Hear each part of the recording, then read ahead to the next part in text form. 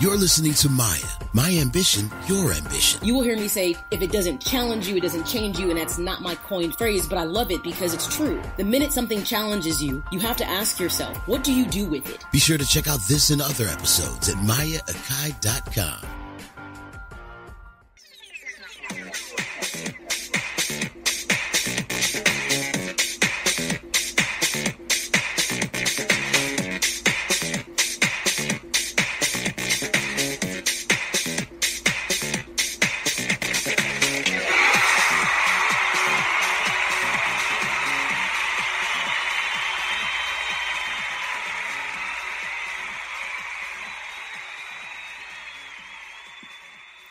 Namaste, everyone.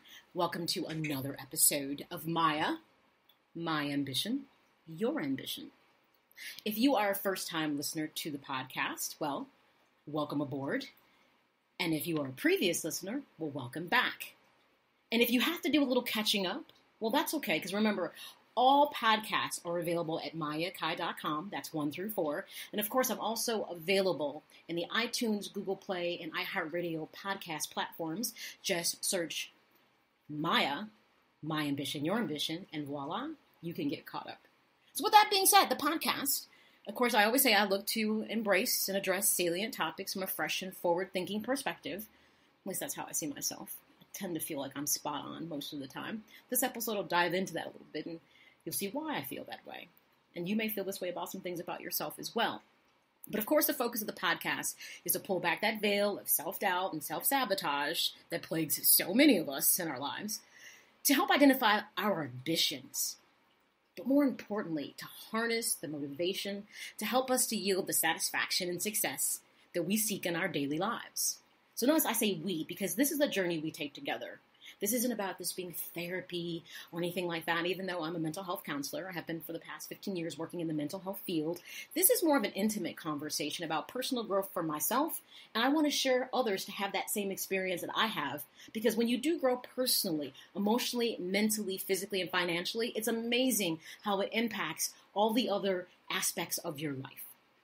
So, with that being said, as I always say, get comfy, Grab your beverage of choice, whether it's a cup of coffee or tea, a glass of water or wine or beer.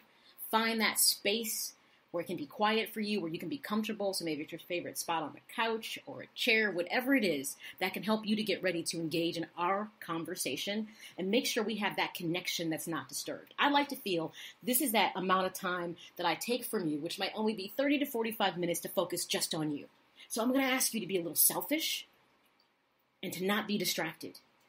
You can be distracted after. All right, everybody, with that being said, onward to episode 5.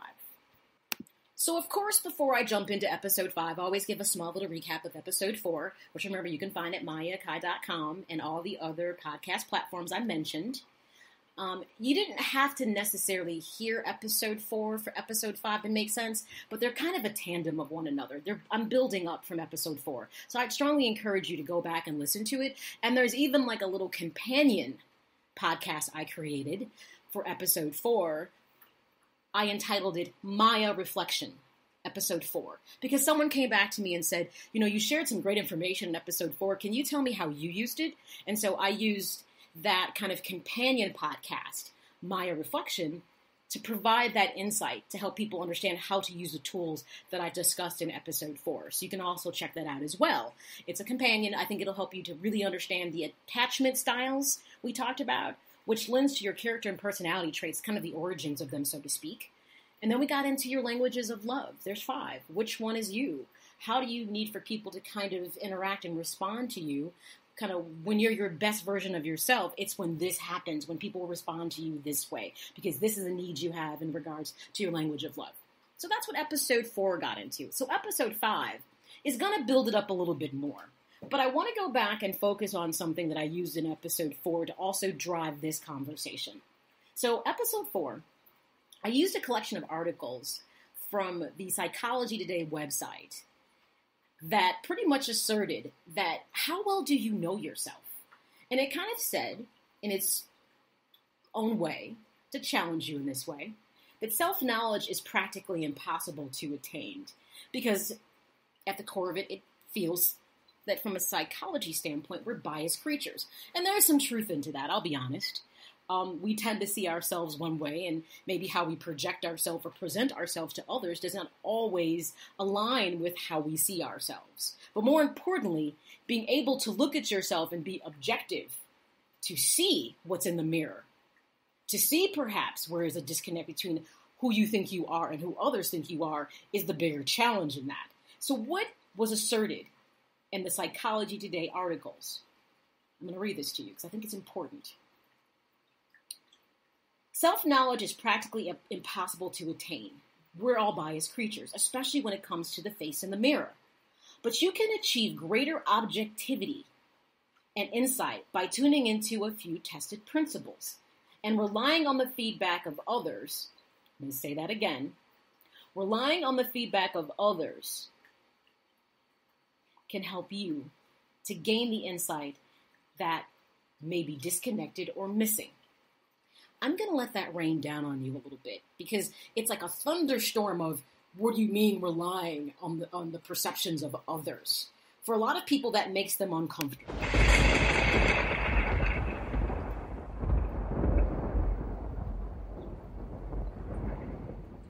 That within itself creates a storm within people. Because you have someone right now who I know is saying, Maya, I don't care what people think about me.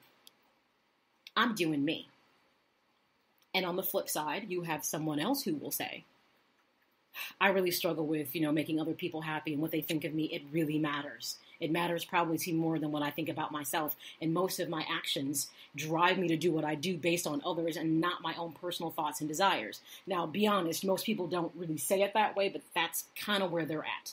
Well, I'm going to help you find a happy middle on this. For the people who think that they don't care about what other people think, and for the people who care about what everyone thinks, here's that happy medium for you. You don't have to care about what everyone thinks because that's nearly impossible and you will drive yourself ragged with it. But you do care about what certain people think in your life. And that also can run you ragged. So, specific people, certain people, let's be honest, are people that often are key figures in our relationship realms that are private, which are significant others, if you have children, parents, siblings, friends, professional realms, might be boss, coworkers, and even that perversive realm where those relationships are not as important as maybe professional or private, but they're still people you interact with and they have a certain impact in your life. Not maybe high level, because there's levels to impact in your life with people, but they still are people that you engage with that affect you in some way. So, within those other relationship realms outside of this personal realm, which we're jumping into, again from episode four, which was you, me, myself, and I, your entourage. It's important this foundation is solid and you understand where you're coming from with this. Because if you lack understanding of self, chances are you will meander through your life and never really be happy because you'll be working to other people's expectations because you're not quite sure what your own expectations are. So, with that being said, I'm going to quickly revisit again about objectivity and subjectivity. Objectivity is seeing something outside of yourself. So your opinions don't drive what you think, whereas subjectivity, your opinions, your feelings, your thoughts drive whatever response you have to something. Gaining objectivity is one of the toughest things to do because it means looking at yourself and being honest with what you see. And I'll be honest, a lot of people can't do that. I've had moments where even I've struggled with it, but I realized though that struggle might be real, being able to do it was the difference in me being able to move to a whole nother level of happiness. So, what we're going to do in episode five, which we didn't do in episode four, is we focused on learning about attachment styles that affect you as a child that played into your character and personality as an adult, and understanding those things of how you respond and communicate to people and then what you need from people in your languages of love. Whereas in episode five, we're going to shift to how well do you know yourself, as well as in terms of, rather, what you think and who you think you are versus what other people see you as. there can be a disconnect. And when there's a disconnect with us, this is when we tend to have more friction because the idea of being cohesive in who you are inside and outside can be a tough thing to do, even for those of us that work hard at it. So, let's get back to the idea of self knowledge that it can't be attained due to natural human bias. But objectivity and insight can be obtained. I'm going to actually leave that up to you to decide if you think, now I'm pretty land, I'm pretty fixed on this. I don't know that I'm changing.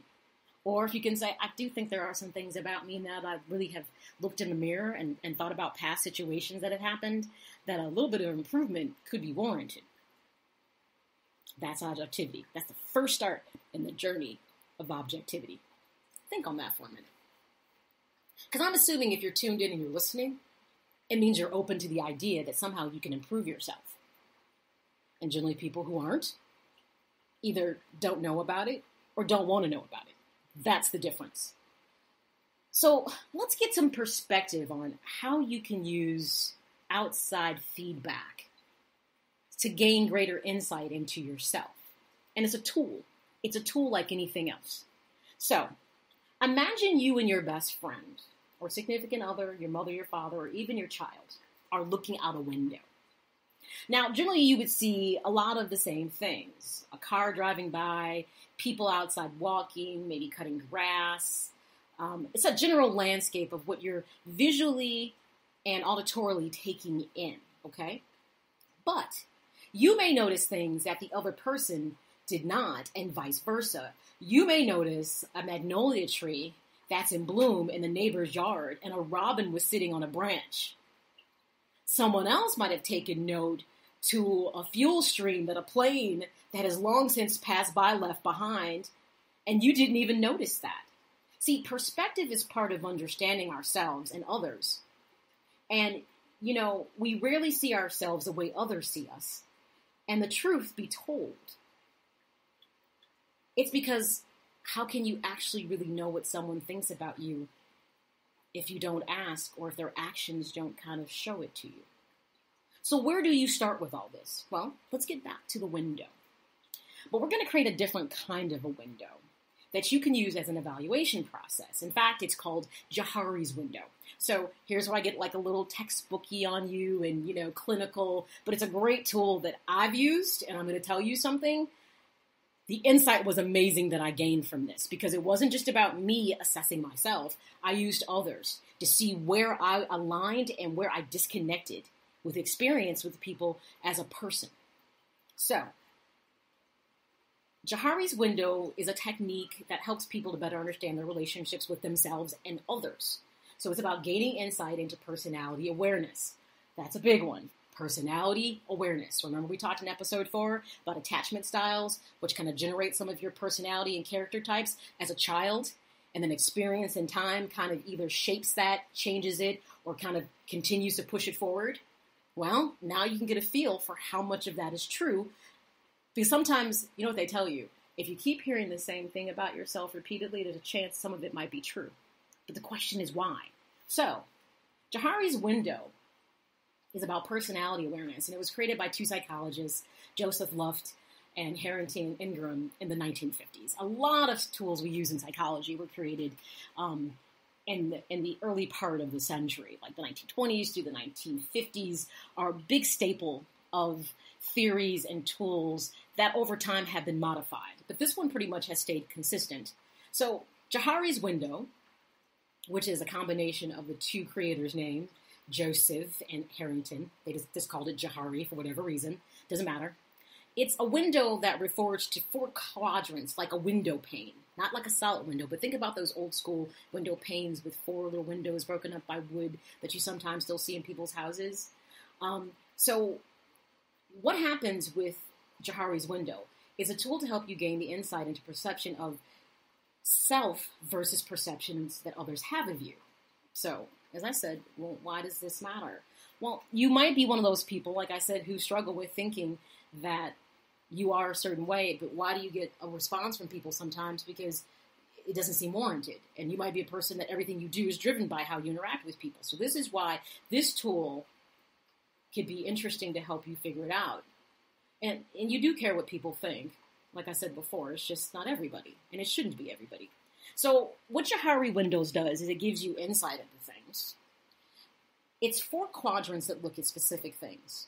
The first quadrant is what we call the open quadrant. It's what you know about yourself and what other knows, know about you. So, my example for me would be I love cats, and people know I love cats. I'm a sports junkie, and people know I'm a sports junkie. There's no doubt about it. These are things that are known about me. The second quadrant, or pain is kind of more of what we call a blind spot, so to speak. It's things that maybe you don't know about yourself, as well as it's not known to others. And you're kind of saying, well, if I don't know it and they don't know it, how does it exist? Well, if you sometimes experiences, something will happen and you'll be like, I didn't know that about myself.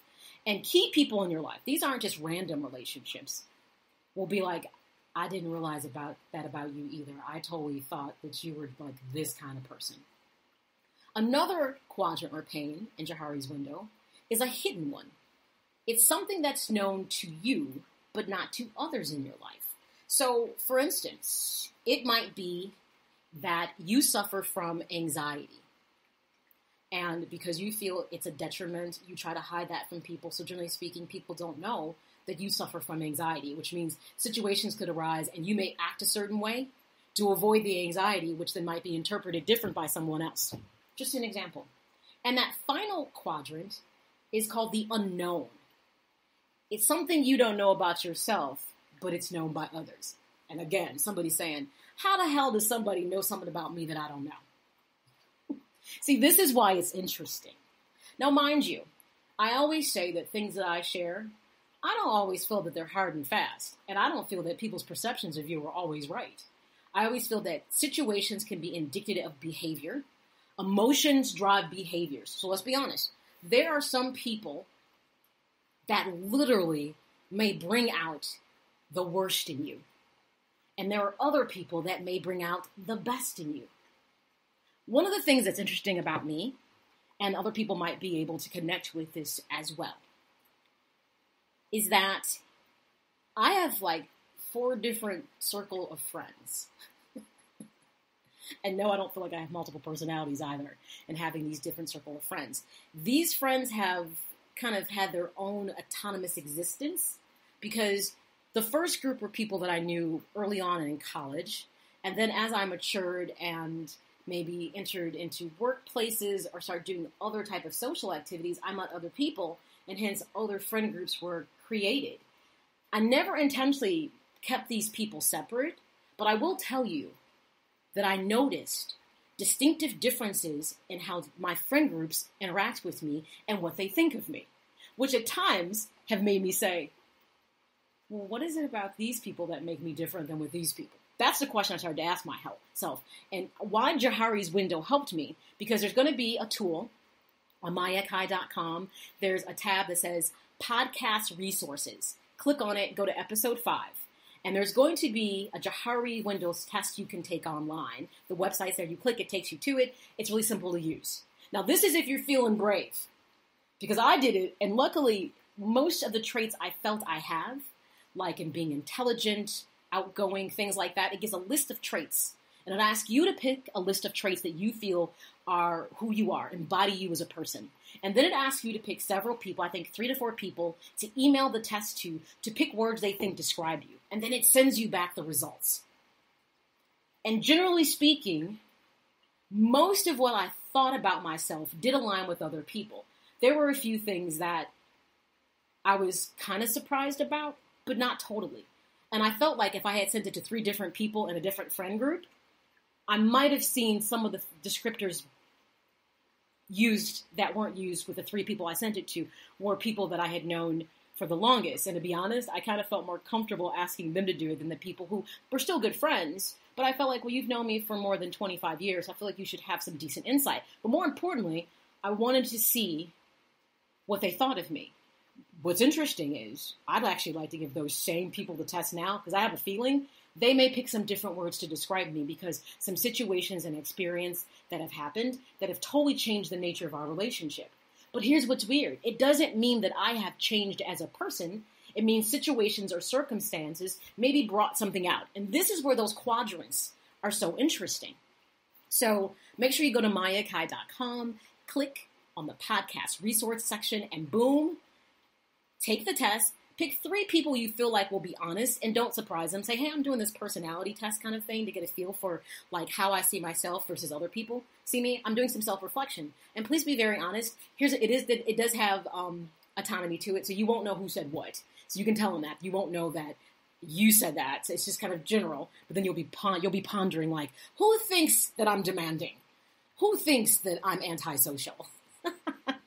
but it's very insightful because the whole point of the test is to help you to gain greater insight into why is there a disconnect between how you feel you are versus why they think you are that way. Now, mind you, one of the things that I said in this is that time is one of the biggest factors in change.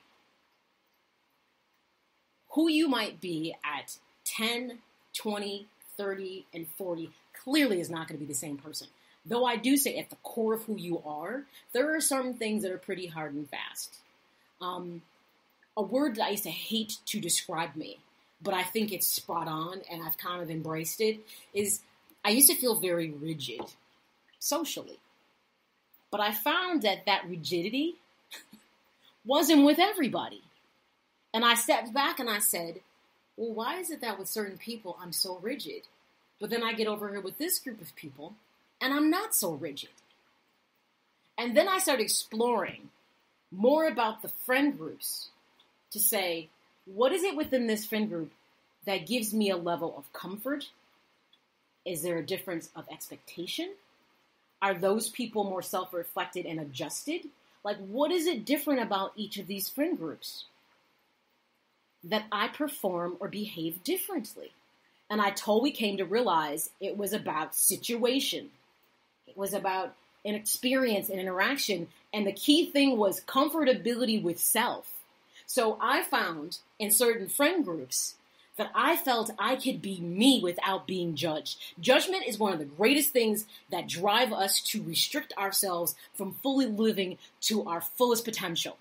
As I said in episode four's companion episode, Maya uh, reflection, somebody said this, and I love stealing other people's sayings, and I, I'll give credit to it. Good is the enemy of great. And you're like, what? How can that be? Because. Matter of fact, let me just let that sit for a second. Good is the enemy of great. Think about that for a minute.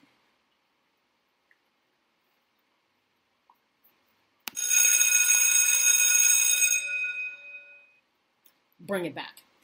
Here's what that means.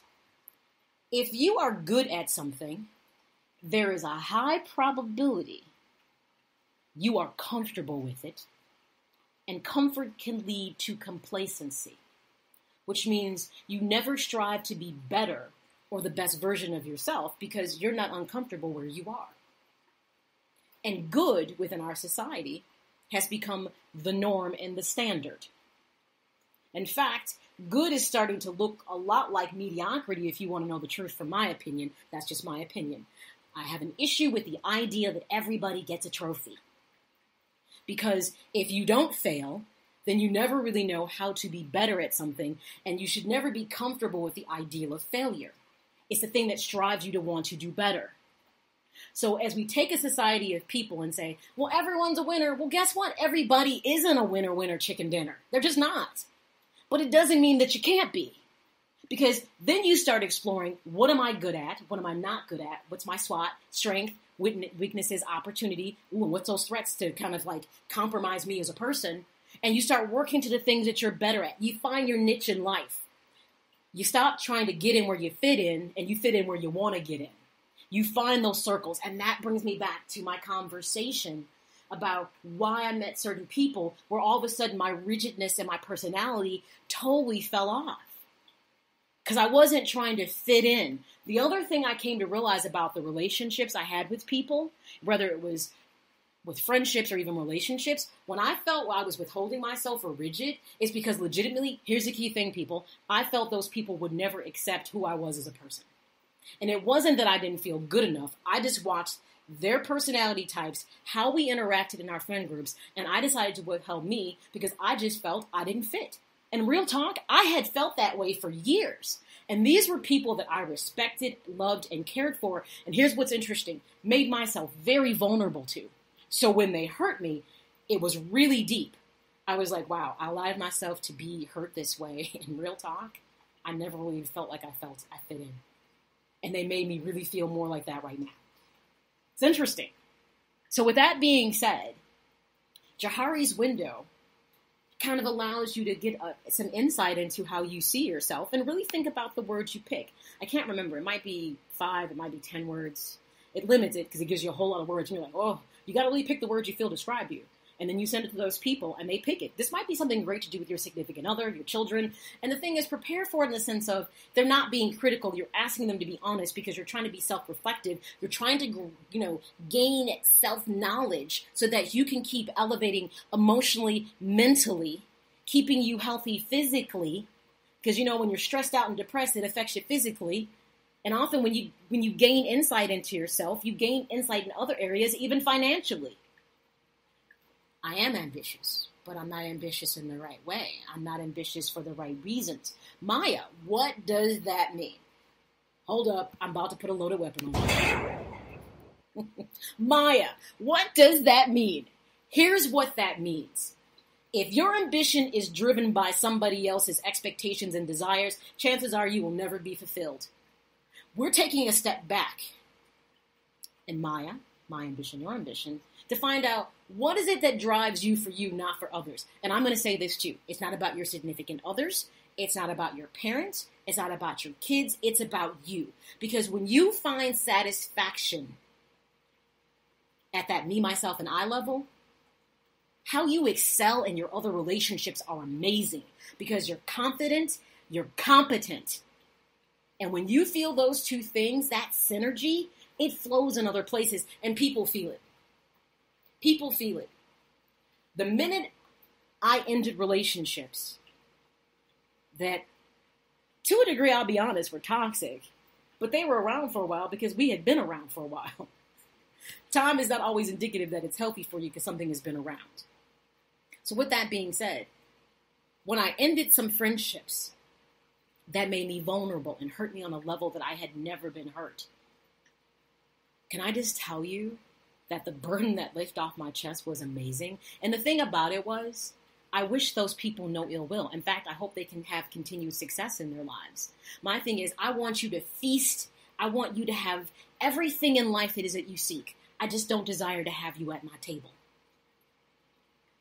That sounds harsh, doesn't it? But that's for real.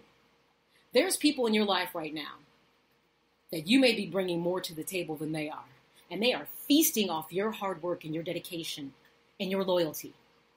And your plate is half full, damn near empty. And their plate is full. Because some people have no problem with being selfish, and we'll tell you that. I have a friend who said this. I'm sorry, you know, I did that to you, and that was so selfish of me. It was. But here was the problem, the flawed issue with that. It wasn't the first time that friend had been selfish with me, and I forgave the first time. But I also felt by admitting that she was selfish, she kind of felt that would make the apology more acceptable. Be able to see through people's absolute BS people. Because often people know exactly what they're doing, they understand the damage or collateral damage that can happen from their actions, but they're willing to take the fallout because chances are you've always been a forgiving person. Guess what? That's something that could be in your blind spot. Maybe you don't know it, maybe they don't know it. It's also something that might be unknown to you. They know that you're forgiving under all circumstances, and you don't see yourself that way. You don't see that as a crutch that can really cause issues in your relationship, but they know damn well you're going to forgive. And you just think it's because you're a kind and understanding person. You never saw that as being a possible disability emotionally to yourself. See, this is where Johari window helps you to understand. So when you start seeing things like understanding and compassionate, step back and say, hmm, what does that mean? I'm not trying to make you go overboard and overthink this. I just really want you to know if their words are different than your words, okay, it doesn't mean that you're not congruent. It means there's something they're seeing for some reason differently than you are? And is it more about the situation that you interact with those people? Or is it legitimately, this is just how you project to just them? Even though at the core of who you are, you're like, well, I don't, I don't agree with that. Here's the thing it's not for you to agree or disagree with the results you get back from the Johari Windows test. It's for you to have self reflection and self knowledge to say, why is this not congruent? And understand their perceptions of you are not more important than your perceptions of yourself. Because the whole point of this particular episode is to let you know who is it that you want to be.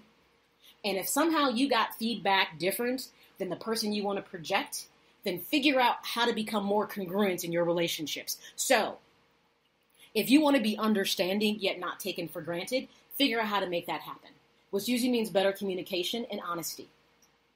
If you want to be honest consistently, but you feel like you can't be because you have to spare someone's feelings, then you know what? Again, this all comes back to learn how to communicate so that you can be congruent in those relationships with people.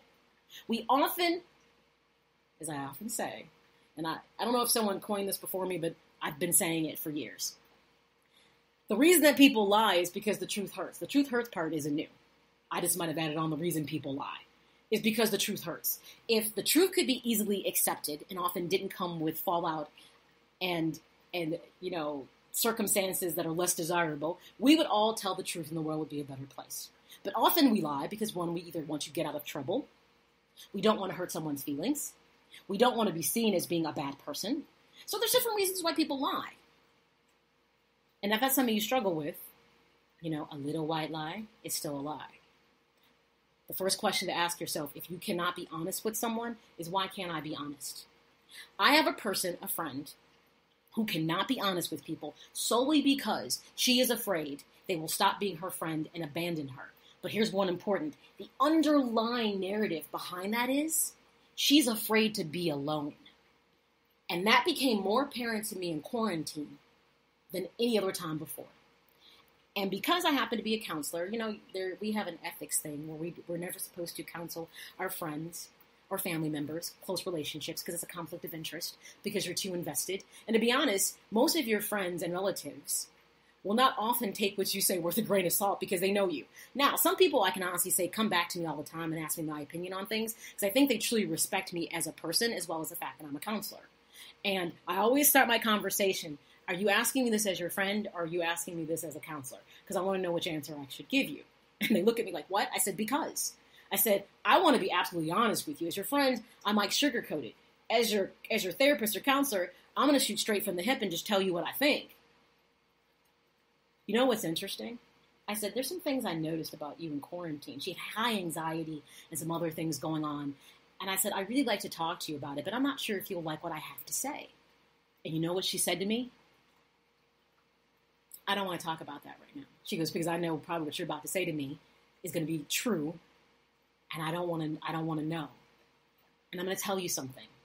The reason her life is the way that it is, and she's an older woman, like 56. She's older than me, not old, is because she will not step behind that veil of self doubt and self sabotage because she is so driven what other people think of her. And here's what's more important she doesn't really know what she thinks about herself. Imagine going through life and not actually knowing what you think about yourself. That's danger. Because how can you rather ever, ever get to a level of happiness if your happiness is always vicariously through someone else? And there are people who live that way. They live their lives vicariously through others because they feel that's the best way to attain happiness. Well, I can tell you that it doesn't work for me because usually what often makes other people happy tends to cut me short. I, I will tell you this though, I clearly believe it's something within my personality type, which within my attachment styles I talked about. I will encourage you go back and listen to episode four and actually listen to the companion podcast, Maya Reflection episode four, that I talked about my shortcoming in one of my attachment styles. I have learned to not be afraid to tell people how I feel about things, but I also say the art of communication is phenomenal for me because every conversation I start out with somebody, I preface it with, I need to talk to you about something. Is this a good time? Because this is something about me. Um, and if this isn't a good time for you, then we can do it some other time. And most people are like, curiosity killed the cat. No, what is it? Okay. With that being said, I need to share something with you that's bothering me. One, it doesn't mean that you see it this way. It doesn't mean it's 100% right, but for right now, I feel like it's my truth because it's how I feel. And I feel like if I don't discuss this with you, it's going to keep happening and it's going to keep bothering me. And I feel like this is something that affects our relationship not in a positive way. And I'm all about ascending up in my relationships. So I need to tell you this. Please don't take it, even though you may feel offended, because I don't know that your intention was for me to ever feel this way, but it's how I feel. I find when you set the table with your conversation and you leave it open, somebody who emotionally, who's emotionally intelligent, which means they're empathetic, not sympathetic. You're not looking for sympathy. You're looking for someone who can connect with what you're saying. And by the way, emotional intelligence, a lot of people aren't there. Being able to understand themselves as well as other is something that comes with hard work and time and experience. And a lot of people don't even know it's something they should be doing. But a person who is an emotional, intelligent person will hear what you have to say and not shoot you down for it and say, Well, that was never my intention. I'm sorry you felt that way, but I'm glad you told me because now I know. Hmm. Imagine how much better your relationships could be if someone extended you that courtesy and you extended that same courtesy to someone else. It's amazing what you could achieve. Yet there's often fear with being honest with people because a lot of people feel they'll be shut down or shut out by those that they care about or love or respect or need in their lives. If you have that strong of a dependency on someone to be a part of your life, yet they're not fully accepting who you are as a person, that's a detriment. And you have to then go back and look at why that relationship has that kind of meaning. And I guarantee you, at the root of it, it will always come back to you. So let's get back to Johari's window. Remember, go to mayaakai.com, click on the podcast resource section, go to episode five, and there's a, li- a link there that will take you to the test. Take it. I challenge you on this. If it doesn't challenge you, it doesn't change you. You know this. Stole that from somebody too. But I want you to do it because at the core of all your healthy relationships is going to be you understanding you because the best you creates better not good relationships, but great relationships, because that's what we're shooting for. Not just good. We want great relationships, but you got to start with that great relationship with yourself. So back to Johari's window. That first pane, it's open. It's what's known to you, it's what's known to others. It's that blind spot in the second pane. It's what's not known to self, but's known to others. And this is where the exploration part gets interesting. Because it's like, what does somebody know about me I don't know about myself, like I said earlier? The hidden realm, that pane. It's something that's known to you and not known to others. Do you see how these two right here is where the disconnect happens in that in that blind and those hidden panes? The danger that lurks in you not understanding you may be projecting something to others that you don't know that you are, and that at the same time you might be projecting things to others that they don't know. This is where a lot of miscommunication and relationships go awry. And that fourth, the unknown. If it's not known to you, it's not known to them, all of a sudden it becomes known and you might discover it together. Or that unknown pane may actually matriculate. Think about it this way something happens, an experience, in a key relationship you have with someone. And all of a sudden, it may jump into a hidden realm, meaning you just found out something about yourself you didn't know, but is not known to somebody else or something from the unknown, from a situation that happens, may jump into a blind realm, where all of a sudden people discover something about you that you didn't know about you. I'll give you a good example of a hidden part for me because I think it's important for me to share because we're going to wind down the podcast soon.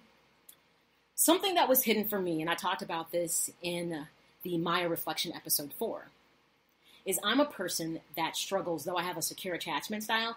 The one area I'm not congruent with that is though I'm okay with people depending on me and needing me, I'm always going to be there. I struggle with letting other people be there for me.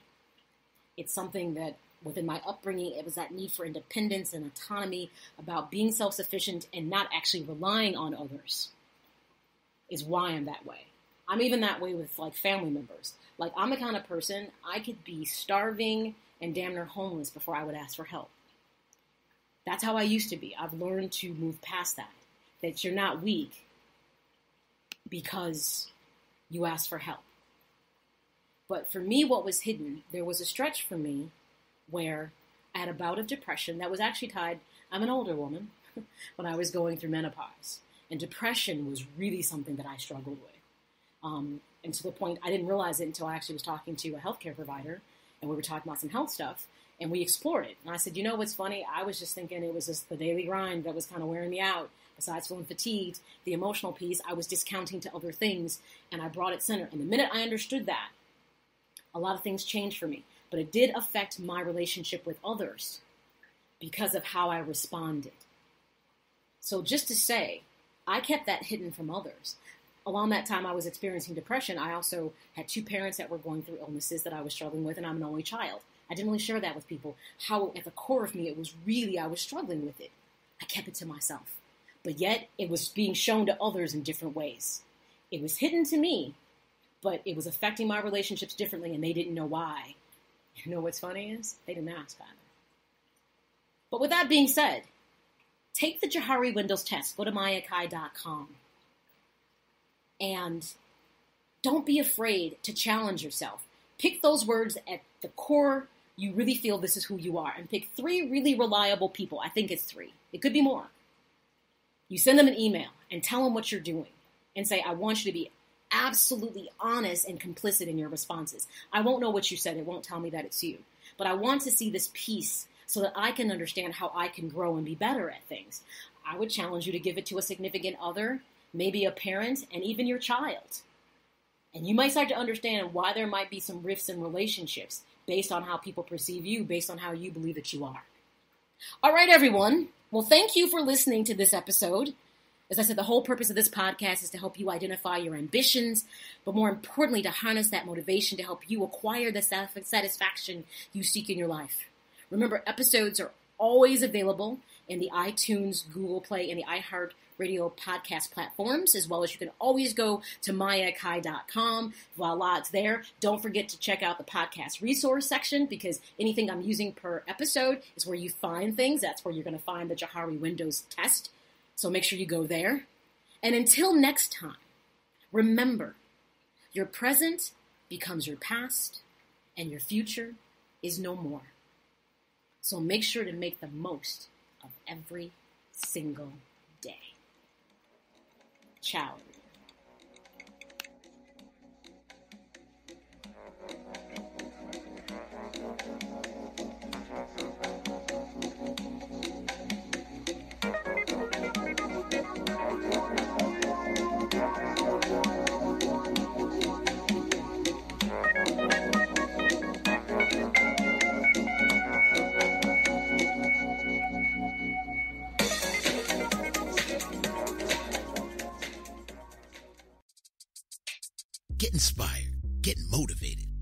Maya Akai and the Maya, My Ambition, Your Ambition podcast. Something that I take pride in is trying to be forward thinking, thinking outside the box, challenging myself. And as I challenge myself, hopefully I challenge you. Find Maya on Twitter and Instagram at Maya underscore Akai. On Facebook at Maya Akai Presents. We're going to talk health, wealth, fitness, mental health, financial, lots of different things that can empower you as you seek out the ambition that you're pursuing. That you're pursuing. Or get everything Maya at mayaakai.com.